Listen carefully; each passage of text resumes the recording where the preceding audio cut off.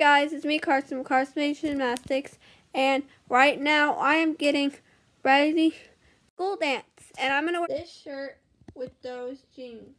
Look at my outfit. I'll um, show you right here. Hi guys, my mom's gonna do my hair